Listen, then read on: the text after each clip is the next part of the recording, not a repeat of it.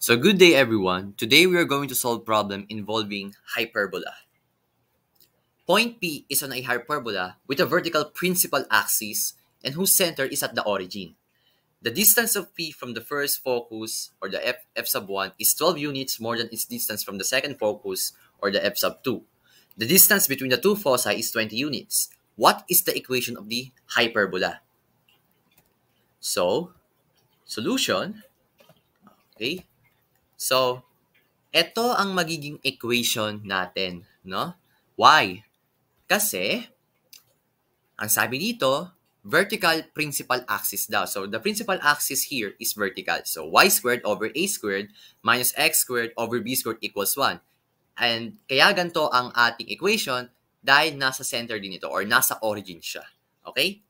Now, remember, that the difference between the absolute value of the first focus and the second focus is equal to 2a.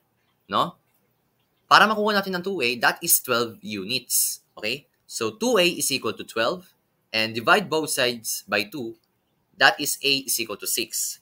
Now, sabi naman dito, the distance between the two foci is 20 units. So, that is 2c is equal to 20. Divide both sides by 2, that is c is equal to 10. Now that we know the value the values of a and c, we are going to use the Pythagorean theorem, no? That is c squared is equal to a squared plus b squared. So, by substitution, 10 squared is equal to c squared plus b squared. Ang value ng c natin ay 10. So, dinagay ko siya dito. And ang value ng a natin ay 6. So, sinubstitute ko siya dito. So 10 squared, that is 100, and 6 squared, that is 36, plus b squared. Kailangan natin hanapin ang value ng b squared. So lipat siya sa kabila. So b squared is equal to 100 minus 36. At yung 100, malilipat din sa kabila. So b squared is equal to 64. 100 minus 36, that is 64.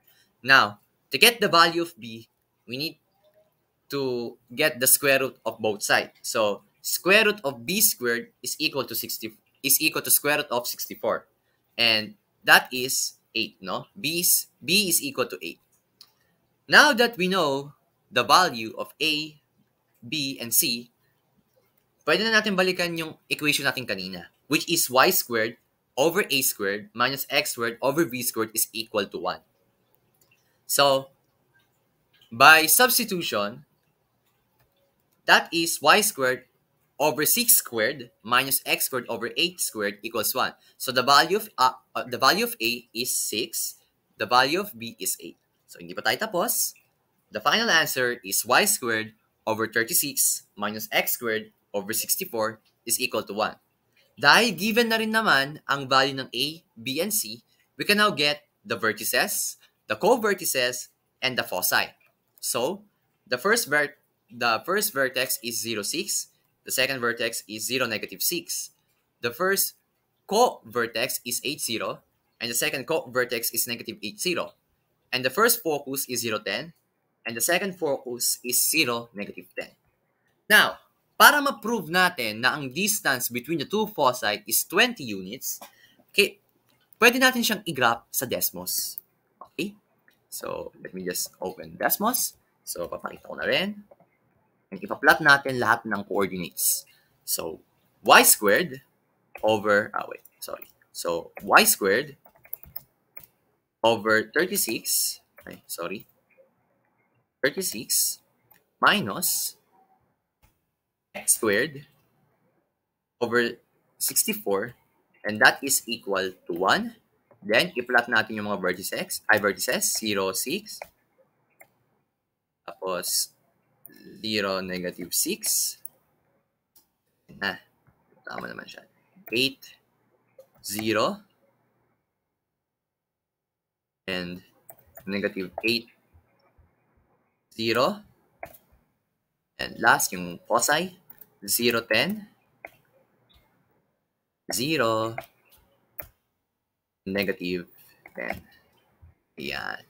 So, 8. Ang sabi dito, the distance between the two foci is 20 units. So, dapat 20 units ang mabibilang natin. Okay? So, bilang tayo, magmula dito sa baba. So, 1, uh, so 1, 2, 3. 3 na yan.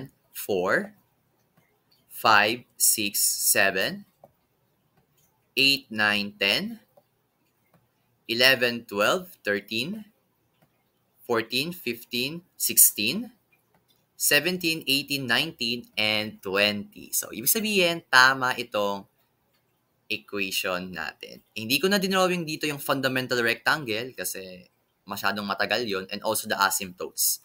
And that is for this video. I hope you learned something and thank you very much for watching.